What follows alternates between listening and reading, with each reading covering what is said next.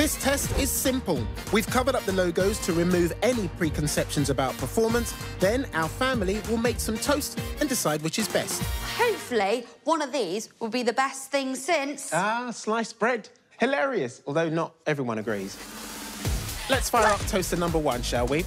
And what this lot don't know is that it's the most expensive on test from Dualit, costing £100, and it comes with doorstep-friendly extra-wide slots. But that's not its only trick. You can actually have a little look at it whilst it's toasting to see how you're getting on, and it doesn't reset anything. Yeah, that'd be really good. Oh! We have poppage. Let's have a look. This one should. I think it's just a bit under on the one side as opposed to the other. That's fine. Let's get some spread on them while they're hot. What are your thoughts? It's not too bad. It's just like warm bread at the, the end zone. I do like the peek function because ours, when you peek and you put it back down, it resets. So that's why you always have to keep an eye on it as well. And it's not long before all that crunching wakes Harrison for a spot of breakfast. Harrison, what do you think of your toast? Is it nice? You nice? Oh, no, no. You like it? Yeah? Oh, 10. 10 out of 10. Well, after a mostly positive reaction, we're moving on to toaster number two. And it's actually the cheapest on test from Cookworks, costing 32 quid.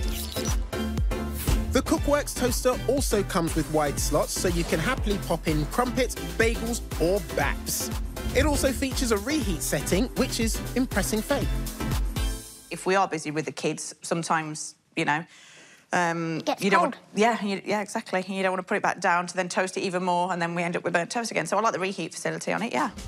For a fair test, like the Dualit, we're toasting our bread on the middle setting. But despite seven levels of browning, it's clear going down the middle of the Cookworks produces some rather anemic looking toast. For us, we, we'd like it more done than that. Yeah, definitely. So back in it goes. But even once it's reached a satisfactory colour on one side, Yeah, that sounds good. That sounds good. that one's a bit under around the edges. it's patchy on the other. I think taste-wise, this is a bit, Dry. yeah, yeah, Bit dry. yeah. Bit too burnt. Yeah, you'd be having a lot of extra calories to get the butter on there to make it moister. So, a disappointing show from our budget toaster. Last up, our mid-priced option, the Breville Aura, costing £49. I like the look of this one. I- Okay. this, from just initially looking at, was my favourite. And it's got a setting all the way to nine. That's right. Fine-tune it for your perfect slice. Alongside nine degrees of browning control, the Breville boasts illuminated buttons and has a lift feature which is meant to make it easier to get your toast out. And is it an easy motion to push it up further? No, it, it starts to wobble, so I feel like I have to put my thumb, and it is a little bit warm on there, so I wouldn't like the kids doing that. So, warm fingers, and despite also being put on the middle setting, what looks like warm bread. We've got very uneven toast. Okay. Hmm. Just like with the Cookworks, to give the toaster a fighting chance, the bread has to go back in. And then it's crunch time. You can tell just by buttering it how dry it is. Yeah. When it's dry, I think, oh, is the bread off or something? It's something to do with the bread, mm. but just from these, and it was the same loaf, I think it's the toaster. Wow. With our family full, they all need to agree on which toaster is best. Will they go for number one, the most expensive on test from Dualit?